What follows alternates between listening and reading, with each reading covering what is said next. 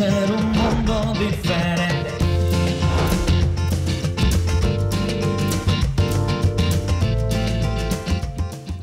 Buenas tardes, estamos en otra emisión de No es lo mismo, este programa que estamos haciendo hace más de tres meses en Telemiami, siempre tratando de traerles artistas y personalidades interesantes. Y hoy, que es el Día de las Madres, además, tenemos a una artista que que bueno, que fue formada por su madre artísticamente en el mundo del baile flamenco. Ella ya es una figura del flamenco internacionalmente, con presentaciones en, eh, en su Venezuela natal, pero también en Nueva York, en Miami. El 23 y 24 de junio del próximo mes va a, presentar su espectáculo Entre Mundos en el Adrian Art Center. Ella es Ciudi Garrido. ¿Cómo estás? Bienvenida. Gracias, encantada de acompañarte aquí un ratico. Bueno, gracias por visitarnos. Estás viviendo en Miami, ¿no es cierto? Así es, bueno, sí, viajo mucho, pero desde hace seis años aproximadamente Miami se ha convertido en mi segundo hogar. ¿Y por qué? ¿Por qué Miami? Bueno, en primer lugar porque es el lugar donde vive mi esposo. Y la verdad, Miami es una ciudad que acoge a todos los latinoamericanos, los hispanos, de una manera que te hace sentir como tu, como tu hogar.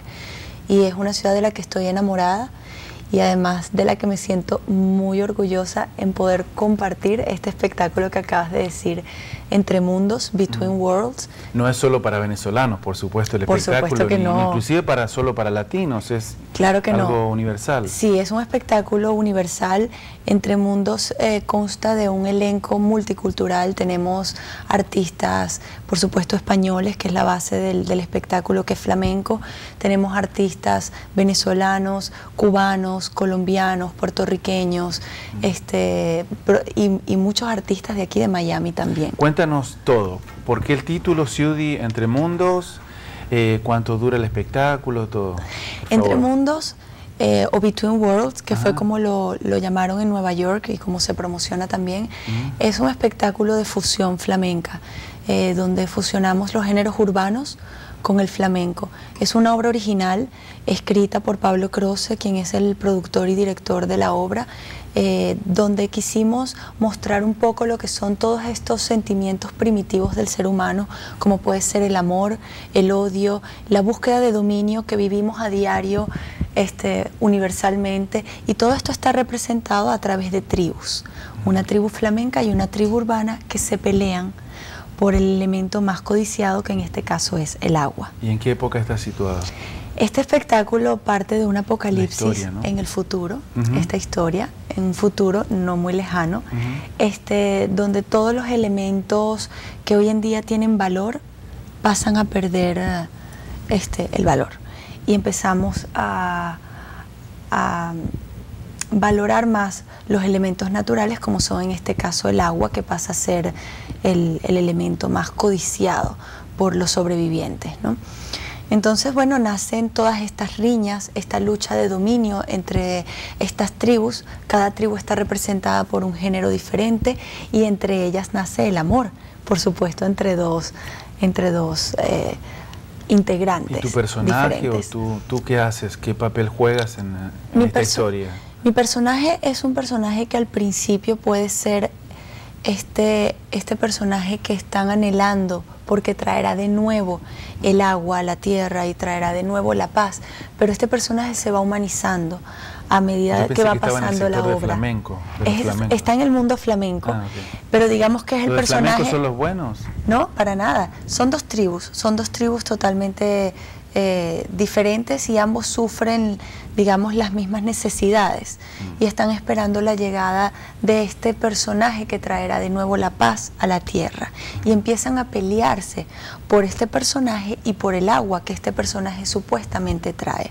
Pero lo que va pasando es que, es que mi, mi persona se va humanizando a medida que va pasando la obra y empieza a cometer los mismos errores que cometemos los seres humanos. Y a través del arrepentimiento es entonces cuando vuelve de nuevo eh, el agua y los dioses mandan, mandan este elemento tan anhelado para la paz. Mencionaste la palabra dominio y, y sé que eh, Pablo Croce, a quien mencionaste, que, es, eh, que lidera contigo todo este espectáculo, es tu esposo. Sí. ¿Hay, ¿Hay peleas por el dominio? No, para nada. ¿Ahí? Para nada. Pablo es un artista que admiro muchísimo y creo que en nuestra relación ha sido muy importante esa admiración mutua y ese respeto a las artes que cada uno desempeña.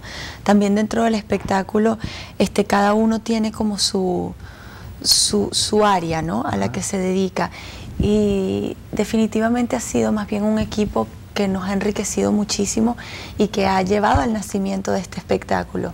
Entre Mundos, Between Worlds, es como nuestro hijo, ¿no?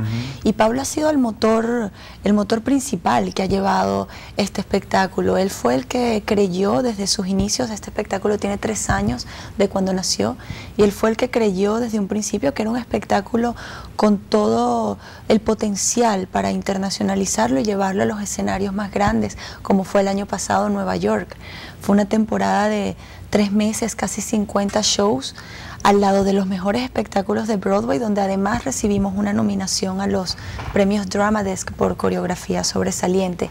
Y realmente él fue el, creyente de todo esto. Peleamos como pelean todas las ah, parejas, pero realmente lo que es a nivel profesional eh, tenemos una, una, conexión muy, muy hermosa. Y el espectáculo, este es el primero que, que, presentas tú así tan con tanto peso en tu carrera. Antes de Entre Mundos tuve un espectáculo también de fusión. Muy chiquita, ¿no? Sí, empecé, empecé muy joven, con, con mi compañía llevo 10 años. este, antes de Entre Mundos. tu propia compañía, perdón? Sí, sí, eh, bueno, que es la compañía de, de, de Entre Mundos en este caso. Pero el espectáculo anterior que teníamos también manejaba la fusión de géneros urbanos con flamenco, se llamaba Bailaora. Sin embargo, Entre Mundos es como la, la catapulta de esa fusión que venimos, que venimos trabajando, ¿no? Y además incorporamos lo que es eh, esta historia, ¿no? Que además te ayuda a crear personajes. También algo muy importante que tiene Entre Mundos es que es un espectáculo para toda la familia. Este, quisimos hacer un espectáculo que le llegara desde el más pequeño hasta el más adulto y también que fuera no solamente para los amantes del flamenco, sino también para aquellos públicos que no, que no irían a ver un espectáculo de flamenco. Te has desenvuelto siempre en el mundo del, flamenco, ¿no? Gran parte de tu carrera. Sí. ¿Qué dicen ellos de que, de que estés haciendo un poco de fusión? Bueno, realmente... ¿No te mira un poco con la frente arrugada? Hoy en día... Los flamencos más puristas.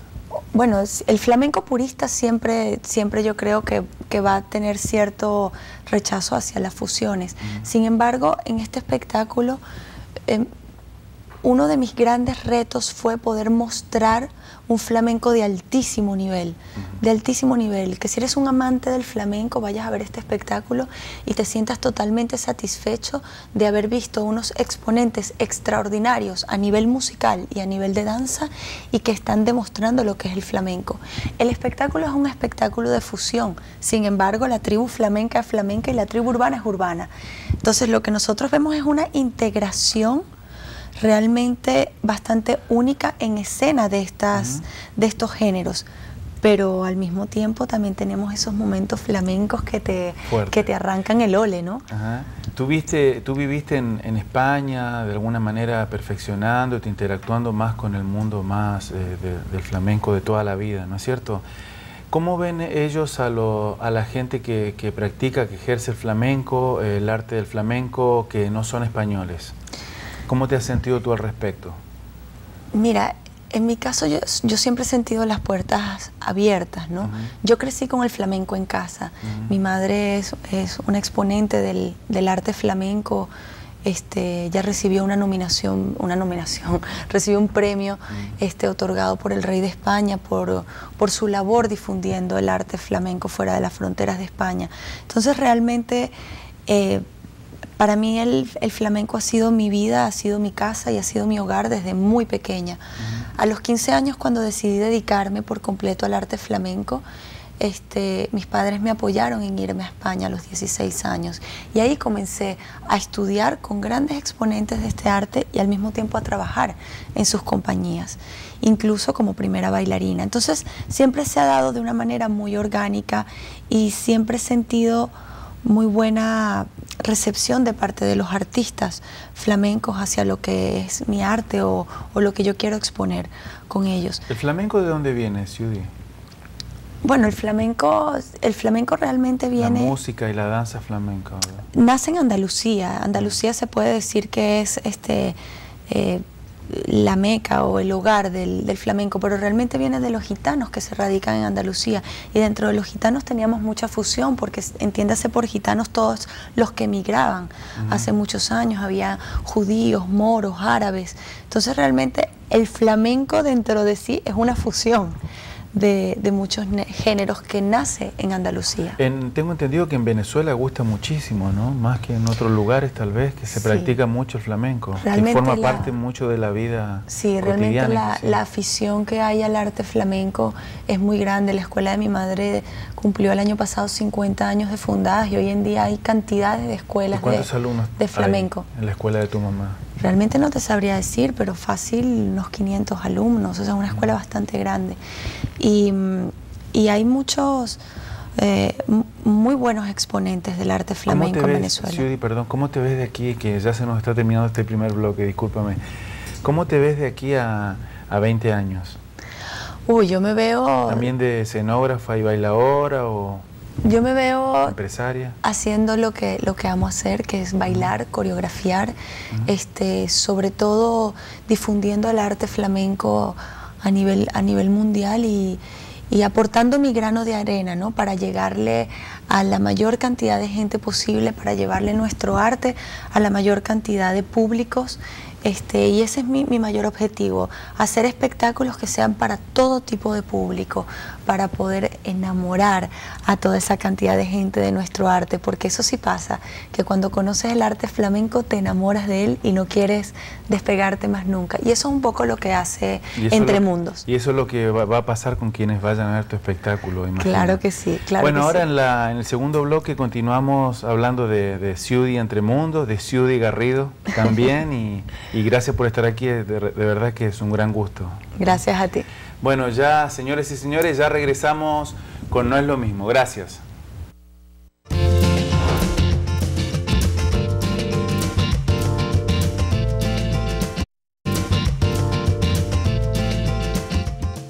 Bueno, continuamos con esta segunda parte de No es lo mismo. Estamos con la bailarina y coreógrafa venezolana que reside aquí en Miami desde hace un tiempo, Ciudi Garrido.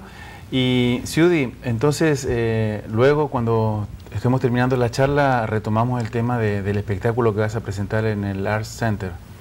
Pero quería preguntarte ahora, eh, ¿te consideras una de las mejores bailarinas de flamenco del mundo? Uy, no. Eso sería una responsabilidad muy grande. Yo creo que en el flamenco este, no puede existir ni el mejor ni la mejor eh, mi madre siempre de pequeña me decía que el flamenco es como el beso, que nadie besa igual. Y definitivamente esa es una de las grandes magias que tiene el arte flamenco. Mm. Y creo que por eso nos cautiva tanto. Nosotros podemos tener una gama de 10 bailadoras, 10 figuras del arte flamenco en un mismo escenario. Y a lo mejor a ti te va a llegar más una, a mí otra, al de al lado otra. Y eso es lo lindo y, y lo mágico que tiene el flamenco, que hay para todos los gustos. ¿Cualquiera puede bailar flamenco?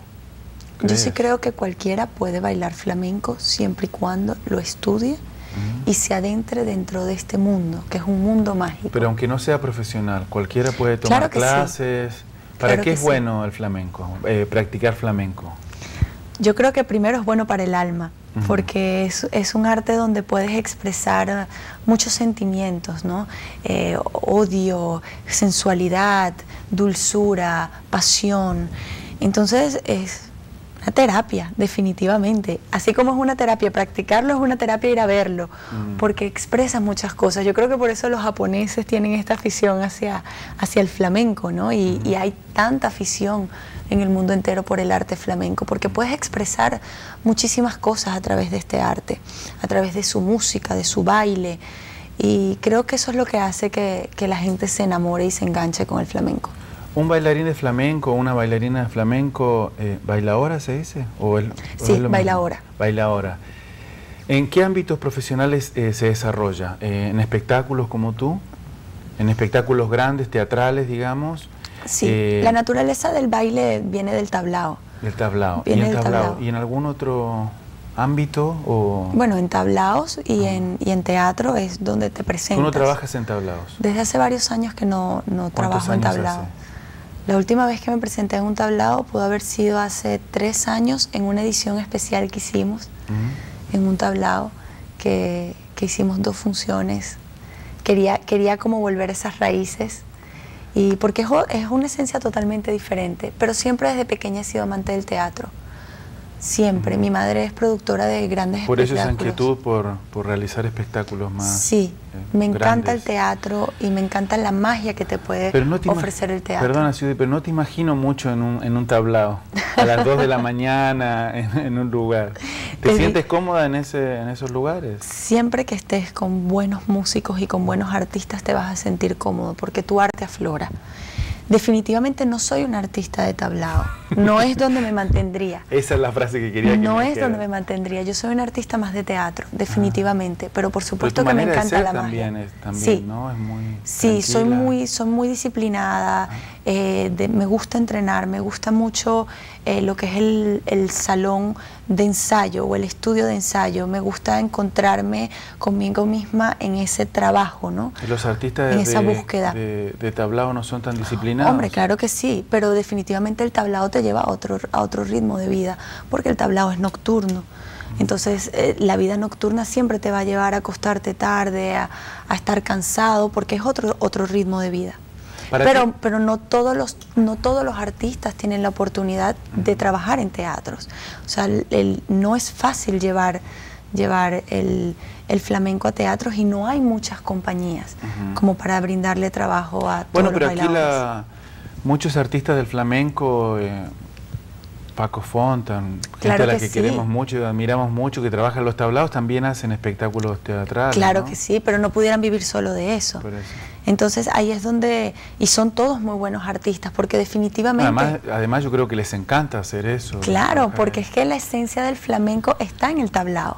Definitivamente ahí hay una esencia que es muy única y de hecho, como te dije, no soy un artista de tablao, me considero más un artista de teatro, pero cuando pasa cierto tiempo sin montarme en un teatro, también el cuerpo me lo pide, perdón, en un tablao. También el cuerpo me pide volver de vez en cuando al, Ujú. al tablao.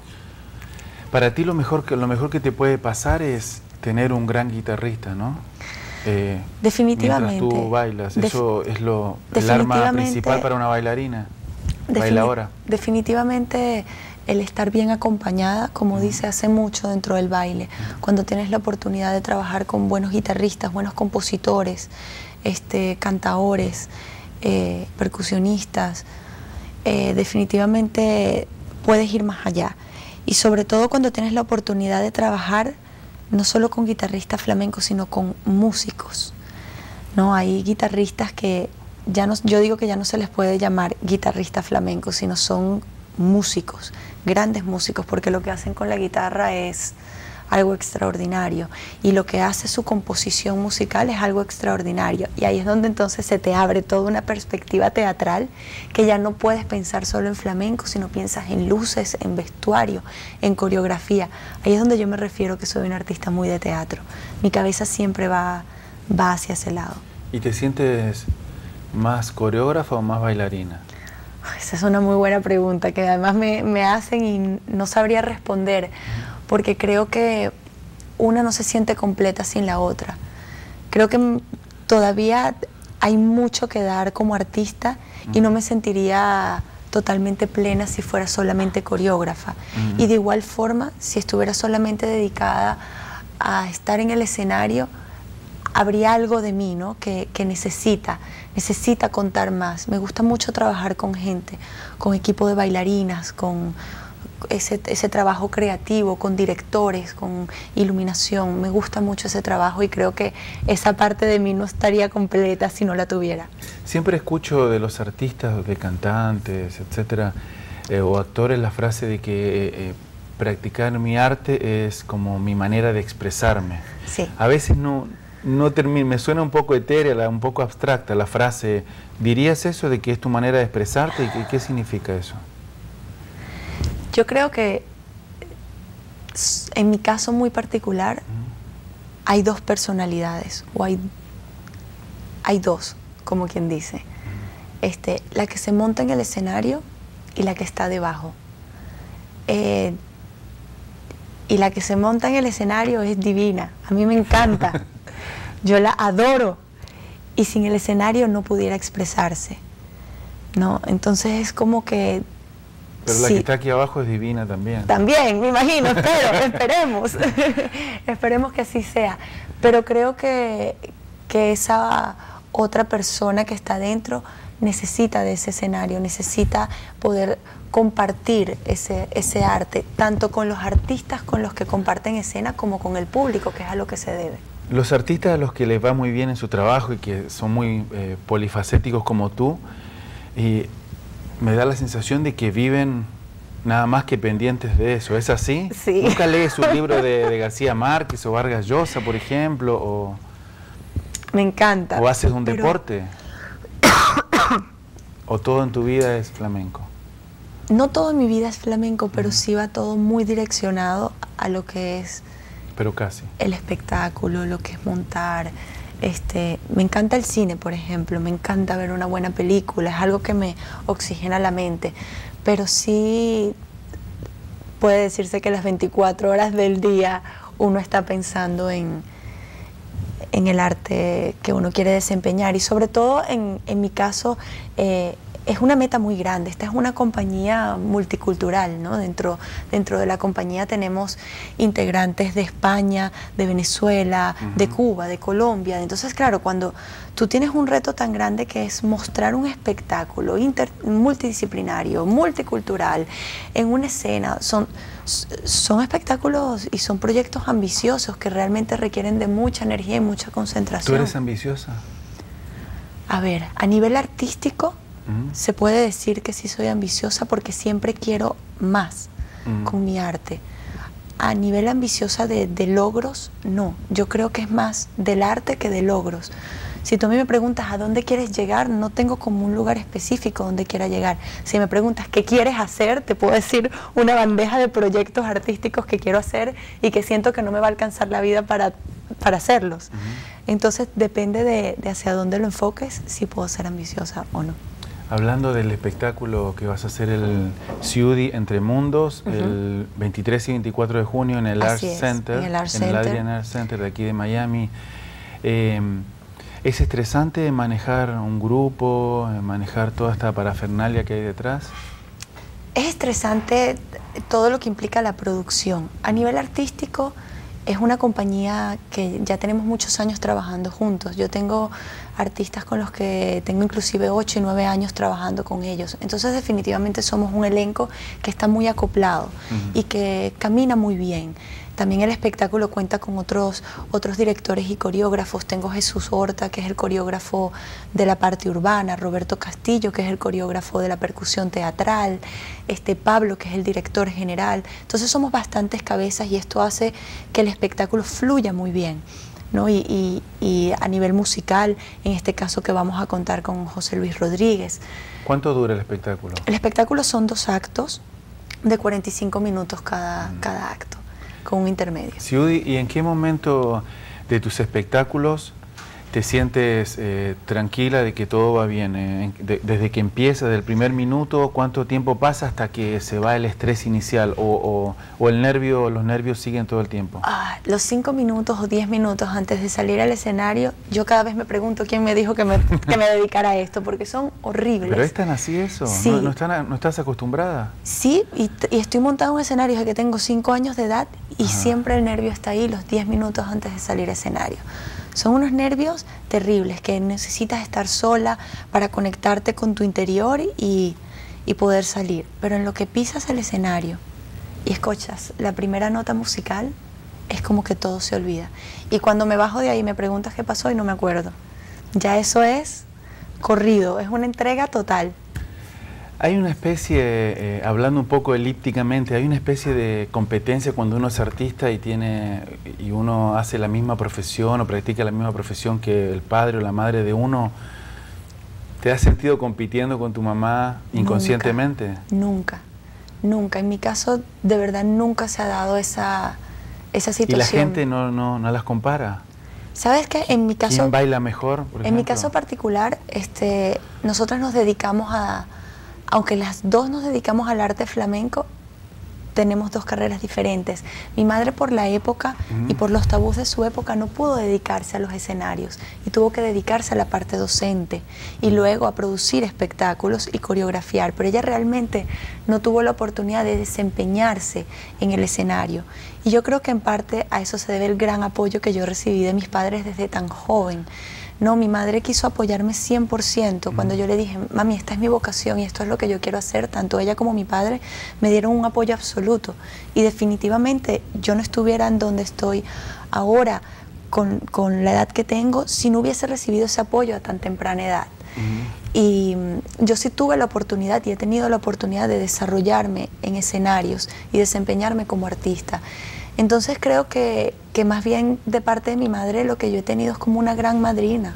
O sea, es, ha sido un, abrazo gigante de, amor y de cuidado que me ha brindado en todos los ámbitos, como madre, pero también como profesional. Como para despedirnos en este, en este Día de las Madres, ¿puedes mirar a tu cámara y decirle algo a tu mamá? Claro que sí, mami, te mando el mejor día de las madres, te amo muchísimo y estoy muy agradecida por todo lo que me has brindado y por supuesto a todas las madres de Miami, invitarlas a que no se pierdan el 23 y 24 en el Adrian Arts Entre Mundos, un espectáculo multicultural de flamenco fusión y las entradas ya las pueden conseguir en, el website del Adrian Arts, así que ahí los esperamos. Claro que sí.